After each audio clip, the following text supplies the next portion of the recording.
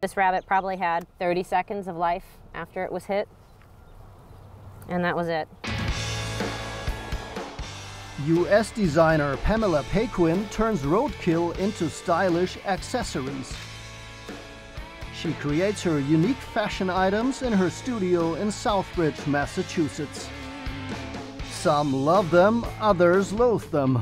Either way, her business model could revolutionize the fur industry.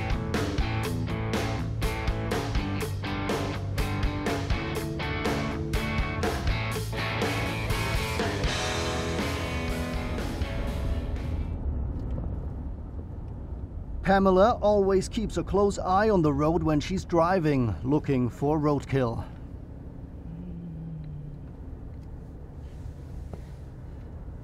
In springtime in the US state of Massachusetts, many wild animals come out of winter hibernation and get hit by cars. During this period, Pamela carefully scans the road for dead animals.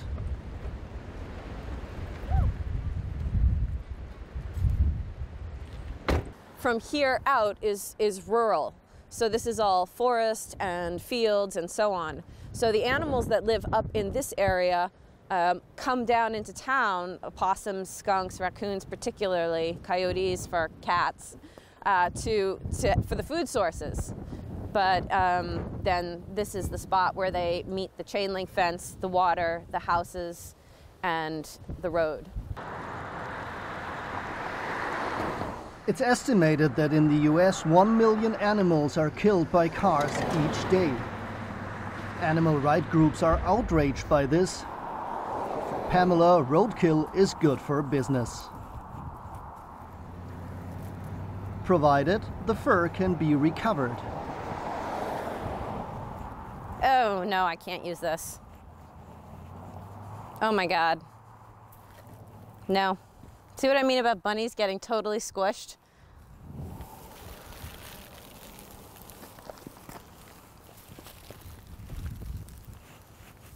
Bunnies tend to not fare well.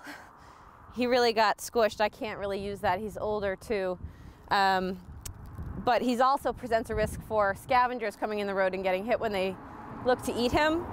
So I'm just moving him off the side of the road so that if any scavengers come, they don't get hit also. So. Pamela produces some 200 furs per year, though she doesn't find all of them herself.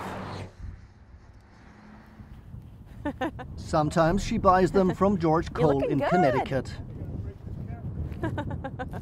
All right, handshake. Good to see you. Good to see you. Good to see more of you. George is a butcher by training and sells furs on the side. Today, Pamela is collecting a new batch. You know, remember every year I get more and more fussy. So this is your fleshing board. George sourced Have these them cow oh, wow, hides from a dark he is. slaughterhouse. Yeah, it's a different different breed. Beautiful. Oh yeah, that's right. Look at that. It is. It's two different breeds. Guy just brought them. These raccoons were shot Oh, by yeah. a hunter, but Pamela prefers roadkill.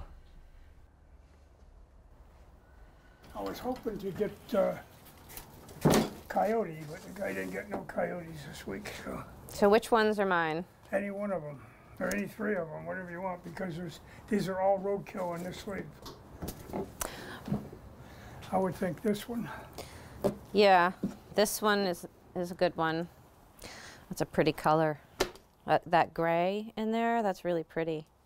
So I'm just looking at the different colors here and the patterns, um, because if I can match them, then I can make those big neck muffs. And I would take it, and essentially I put them butt to butt, and they come around and nose to nose, something like that. Pamela lives in Southbridge, a former industrial town near Boston.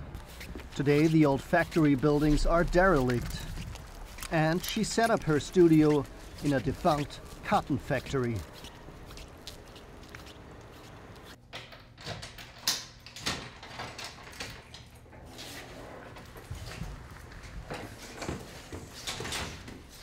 Her label is called Peace Fur.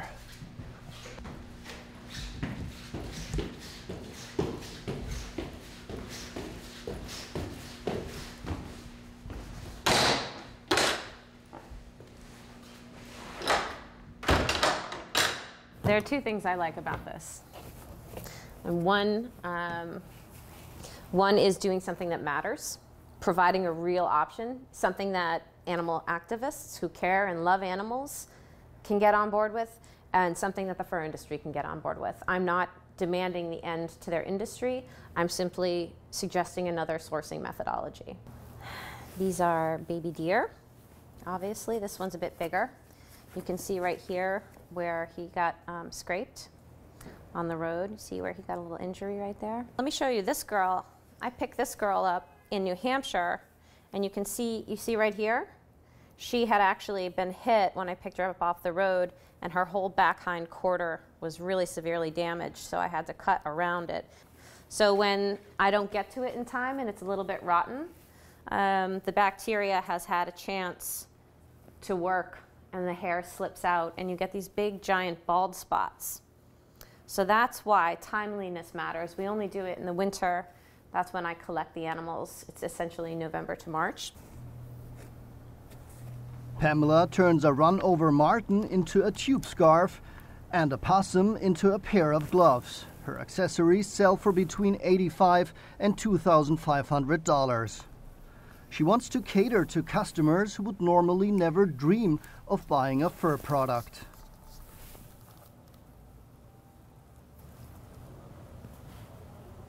This was something that would make a difference in the world, that would provide a third option. You could have biodegradable, sustainable, luxurious heirloom material, and you wouldn't have animals uh, dying for fashion or in cages or anything like that. But it can't be done without blood. That's part of her concept. At the Open Air Museum Old Sturbridge Village, Pamela demonstrates how to skin roadkill. She will never forget the first time she did this.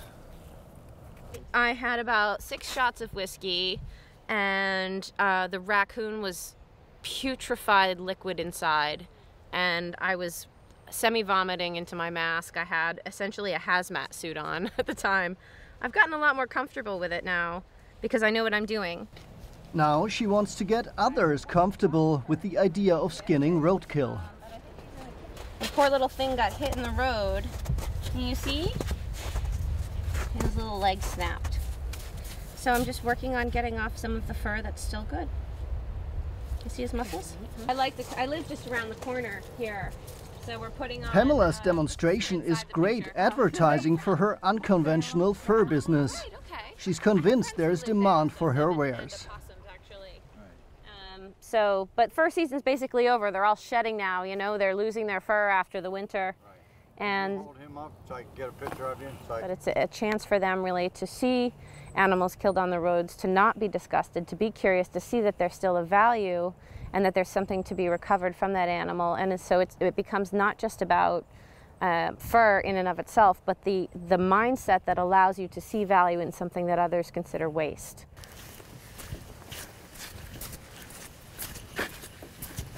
Pamela's parents were farmers. She grew up surrounded by nature. you mincing around the puddles, Mac. Though until recently she worked as a business consultant. After divorcing from her husband, she bought her parents' land and built a little farm. She's a single mom and is used to taking matters into her own hands, just like her parents taught her. Growing up on a farm has influenced her way of seeing and treating animals. For her, their family, only rarely does she kill animals to eat them. We had a goat, and he started uh, attacking my daughter and bruising her legs. And I tried to work with him. We tried to keep him in fencing. He'd plow through the fencing. So finally, we ate him. You know. So that's that's the way it is. If you're not nice, what what is it? Be nice or be dinner.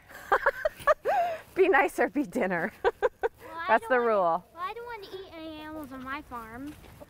You don't have to. And that's why we work with other farmers locally. Now I bring Winston to the side so I can get at the gate.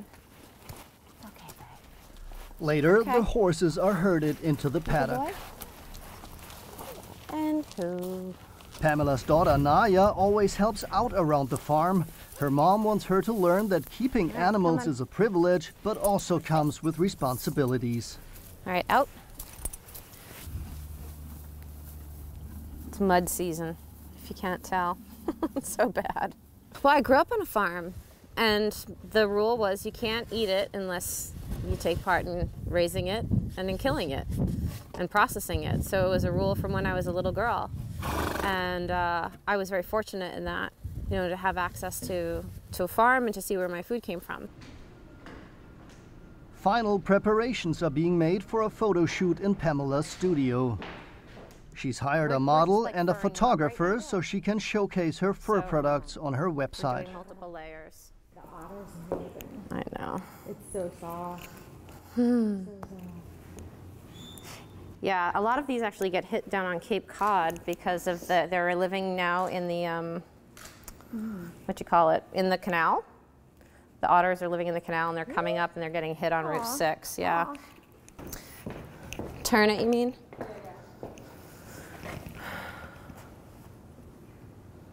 Smile.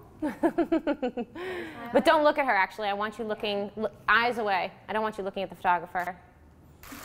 Close your eyes. There, that's good. That's good.